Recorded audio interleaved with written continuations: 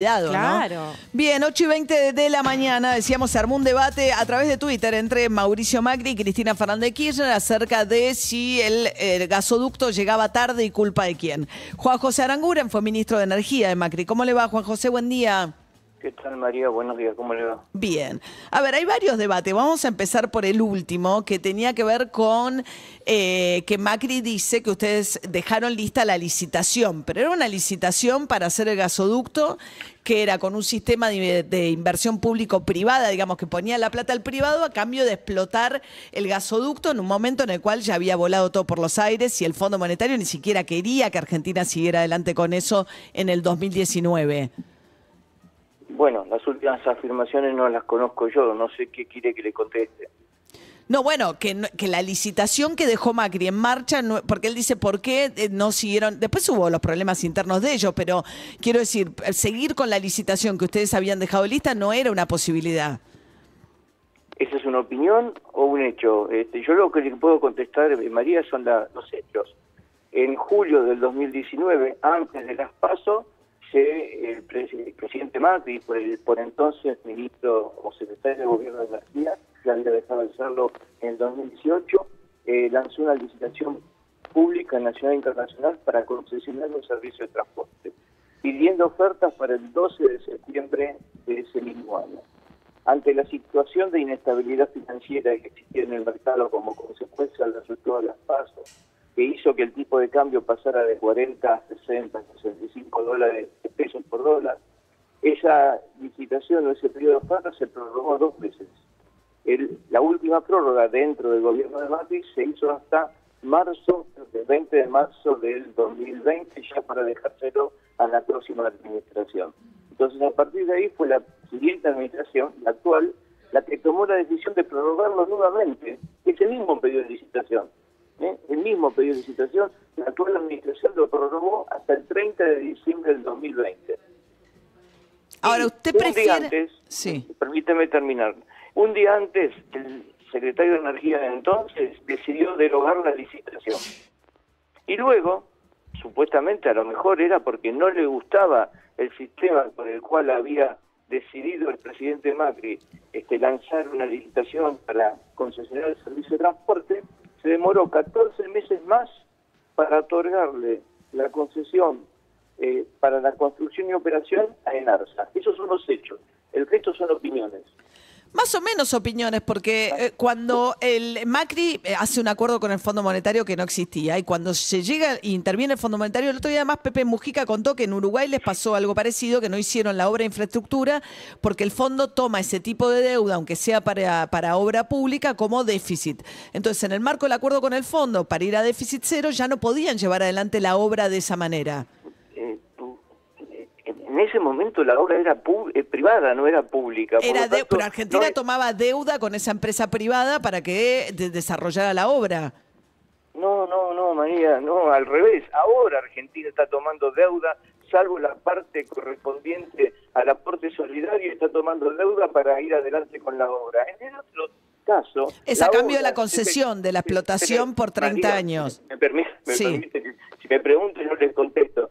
En el caso del presidente Macri, el dinero lo ponían los privados Sí. contra una posibilidad de tener una concesión por 35 años en la operación del gasoducto. Los privados iban a repagar esa inversión a partir de el peaje que se iba a eh, cobrar en el gasoducto. Que le iba a Ahora- cobrar al propio Estado. Digo, ¿a quién se lo va a cobrar?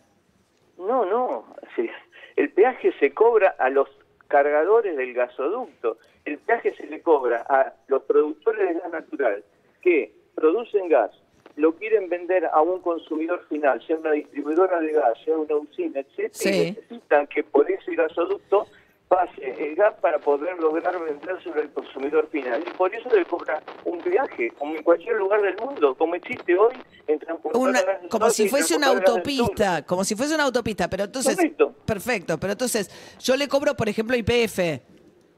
Le cobra IPF, le cobra Tecpetrol, le cobra PAE, le cobra todas las productoras, sí. IPF es una empresa que cotiza en la bolsa de New York, por más que sea de capital 51% de capital público, sigue siendo una empresa que se rige por la ley de sociedades anónimas. Y nada de eso tiene impacto, digamos, o sea, daría sería mejor para Argentina que, le- que lo explotara un privado al gasoducto y se lo cobrara a las petroleras. En la situación económica que existía en aquel momento y en la que existe hoy, obviamente que una inversión de riesgo como es la inversión energética, al menos en mi concepción, es mejor que una inversión de riesgo la tomen los privados y no el, el- el público. Pero el efecto final para, por ejemplo, para un para un para el, el costo de la energía que vamos a pagar en Argentina, usted dice que es el mismo. Correcto, porque lo importante, lo importante del gasoducto, y acá con toda esta discusión que estamos hablando, lo importante, el gasoducto es un medio, no es el fin. El fin es poder transformar los recursos que tenemos enterrados, en este caso en Vaca Muerta, en reservas y esa reserva en producción para satisfacer la demanda del mercado interno que hoy la estamos cubriendo por importación. Claro. Si podemos satisfacerla o en el verano cuando la demanda del mercado interno no es tan alta, poder exportarla y generar divisas. Y en el futuro, a partir de la posibilidad de que se puede invertir, porque la Argentina este, es más estable y se puede invertir en obras de infraestructura mucho más grandes que este gasoducto. Estamos hablando de 20 mil, 30 mil millones de dólares. Podríamos tener una planta de liquefacción Claro. para además exportar al mundo el gas que tenemos en Vaca Muerta. Claro, que eso sería ideal, ¿no? Para poder ir con los barcos de, de- pero eso sí, digamos, eso sí requiere una inversión que, bueno, no sé, tendría que aparecer alguien dispuesto a poner 20 mil millones de dólares. que espero espero que no sea el Estado Nacional, porque el Estado Nacional necesita que el dinero que pueda tener lo pueda dedicar a cosas que no sean eh, eh, inversiones de riesgo, como puede ser la salud, la educación, etcétera. Pero es una inversión tan de riesgo teniendo vaca muerta desarrollar el gasoducto. Y bueno, ¿qué le parece? Si de golpe tenemos una pandemia el año que viene y los precios se caen a 5 o 6 dólares por millón de BTU, es una inversión de riesgo, porque usted tiene el recurso, pero sin embargo el mercado no le va a comprar al precio que usted puede sa- satisfacer los costos y repagar la inversión. Es una inversión de riesgo. Ahora, la otra discusión, o sea, y que tiene que ver con lo de IPF, sí, o sea, usted pref- hubiese preferido que el gasoducto fuese privado, aún, y, y- pero no apareció No, no, ninguna no, oferta. el gasoducto, eh, primero, eh, María, como el transporte tiene ese carácter monopólico, porque usted no puede hacer Sí. un caño para cada productor, el Estado Nacional concesiona la obra de un gasoducto y cuando terminó la concesión, ese gasoducto queda en manos del Está bien, Estado usted hubiese Nacional. preferido, tiene razón, perdón la expresión, que es explotara privadamente el gasoducto, este. Correcto. Y ahora, el tema de vaca muerta, digamos, la otra discusión que tuvieron Macri y Cristina Fernández de Kirchner era que, porque Macri dijo, ¿para qué iba a hacer un gasoducto si no tenía gas que transportar? Recién pensé en hacer un gasoducto cuando subió la producción de gas. Ahora, ahí Cristina Fernández de Kirchner lo que le contesta es, si subió la producción de gas fue gracias a la inversión de IPF en vaca muerta y a que IPF había sido renacionalizada. ¿Está de acuerdo con eso? Eh, fue YPF no es la única empresa que produce en vaca muerta. Hoy YPF produce en vaca muerta probablemente el 35-40%, tendría que ver exactamente. Pero ¿quién arranca? La discusión es un poco es quién tomó la decisión estratégica de arrancar y si gracias a que Eh. IPF hace- toma esa decisión, la- después viene el resto del desarrollo de Vaca ¿Usted Muerta. quiere, usted quiere que le diga, usted quiere que le diga que esto fue gracias a YPF? No, le estoy preguntando cuál es... No, no, no, no, le estoy, estoy- resumiendo la discusión entre Macri y Cristina Kirchner Bueno, para que usted yo- me dé su yo- opinión. Yo, no estoy... lo- mi opinión, mi opinión cuando escuché lo siguiente fue este, que la presidente, la, eh, Cristina Kirchner, actual vicepresidente, mencionó que esto era consecuencia de este, la eh, expropiación de IPF. Eso, justo eso es lo que le 51%. estoy queriendo preguntar. Yo le estoy contestando lo siguiente, porque ella justificó esa expropiación en el mismo discurso en que la empresa multinacional, que era accionista de IPF, había remitido al exterior en una cantidad importante en dividendos. ¿Correcto? Sí, sí, sí. el 42% Sí, de dividendos. Lo que la Presidenta se olvidó de decir es que esa decisión que tomó la empresa IPF de remitir dividendos al exterior fue consecuencia de un acuerdo que había firmado la misma IPF en manos. Con eh, los la para que entraran los eskenazi. Para Sí. que durante 10 años remitieran 90% de su utilidad neta en la forma de dividendos. ¿Usted sabe, María, cuánto fue la utilidad neta del IPF entre el 2008 y 2012 mientras estuvieron los eskenazi? No, 4.900 millones de dólares Claro. en cuatro años. ¿Usted sabe cuánto se remitió de dividendos en esos cuatro años, del 2008 al 2011?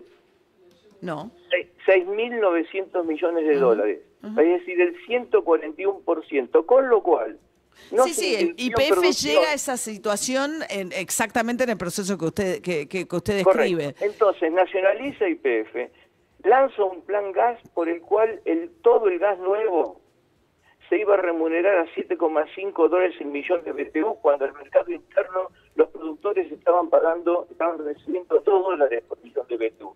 Se paga 7,5. Entonces, como consecuencia de esa política, YPF firma un convenio con este, la empresa Chevron para desarrollar Loma Campana y es la primera empresa que empieza a desarrollar vaca muerta en forma masiva. Exacto, y ella dice que gracias a eso hubo gas, digamos, y el desarrollo de Vaca Bueno. Muerta se le debe a, Bueno. ese, a ese primer Bueno. mojón.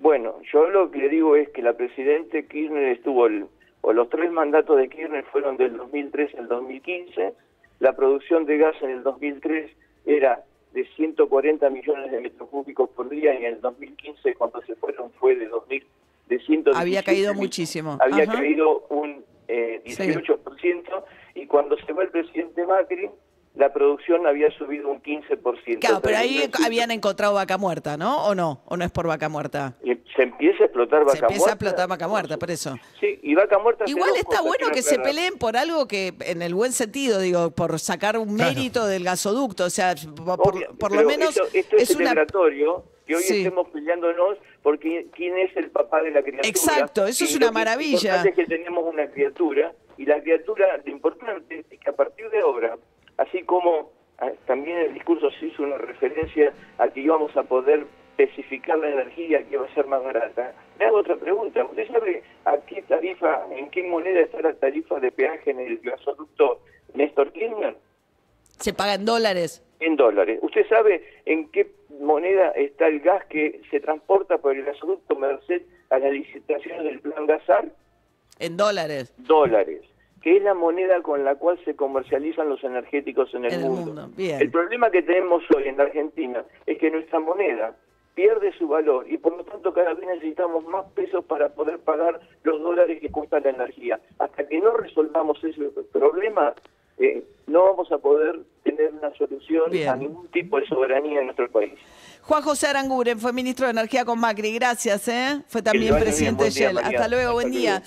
La novedad de todo esto nueva, digamos, Sí. que tiene que ver con cómo sigue esto. eh, La otra discusión es un poco para atrás, ¿no? Y que es interesante Sí. igual, pero es para atrás. Y también una discusión de fondo si conviene que lo haga el Estado, si conviene que lo hagan los privados o qué tipo de financiamiento tienen que tener estas obras. Pero ahora lo que van a hacer es conectar con el gasoducto que baja de Bolivia al centro del país porque están muy preocupados porque Bolivia dijo que no va a vender más gas, con lo cual lo que están diciendo es que se puede quedar sin gas el norte de la Argentina en caso de que no reversionen el actual gasoducto que va del norte al centro del país y lo puedan, digamos, llevar hacia el norte el gas que viene de la Patagonia.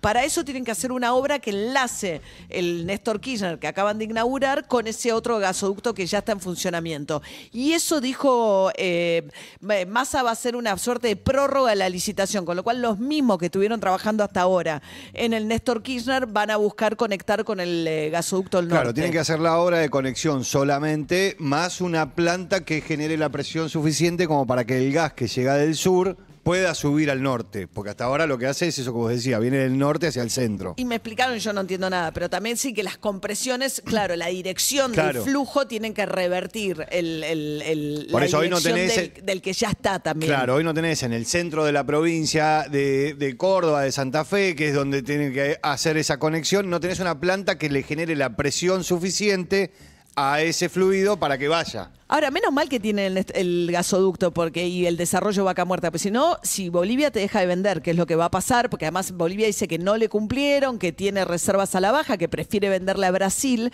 si esa situación se diera sin el desarrollo vaca muerta y sin los gasoductos, el norte se queda sin gas, Sí. ¿no? Sí, sí, el año que viene la preocupación es que para mediados del año que viene, si no tenés una solución, y lo más probable es que el norte de la Argentina tenga muy poco gas. Muy bien, 8 y 34 de la mañana por cada persona que maneja con la